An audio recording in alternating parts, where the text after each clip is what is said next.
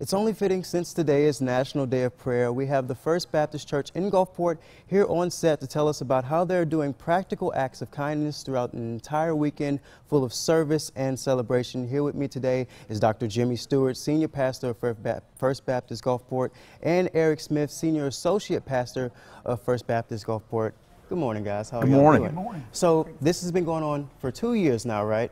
Can you just tell me first? Let's talk about what's taking place on Saturday. Yes, sure. We've already been doing some just uh, uh, projects across the coast, and Saturday we'll actually be at the air show, handing out water. The Love the Coast weekend is designed for the members of First Gulfport to get outside the four walls of the church and to just demonstrate God's love in some really practical ways. And then it doesn't stop there. Jimmy, can you tell me about what's taking place on Sunday? Absolutely. We'll wrap up the weekend at the Barksdale Pavilion at Jones Park.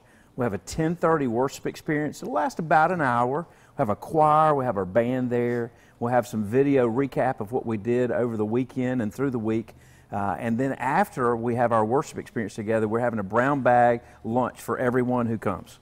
What does it mean to you guys to be able to put on an event like this? It's like you said, it's been two years going on strong now. You guys are a crucial part in our community. What does it mean to the church to do this? We, our desire is just for our members to get outside the four walls of the church and to take the church to the people. We want everybody across the Gulf Coast to know that they're loved by God. And so really it's ordinary members of First Gulfport demonstrating God's extraordinary love in some really practical ways. Bottom line. And what seems to be sort of the response from the community from someone who may not have attended First Baptist in, in a long time, or maybe a, a newcomer, if you yeah. will?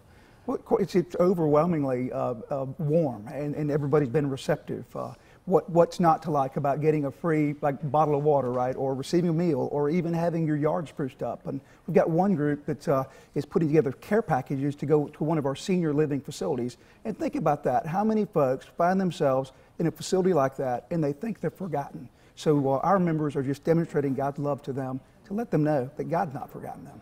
Absolutely, absolutely. And, that, and that's going to be an amazing event. Make sure you come out, have a great time Saturday and Sunday. Make sure you stop by and have a great service on Sunday. It's going to be fantastic, guys. Thanks for joining Thank us. You.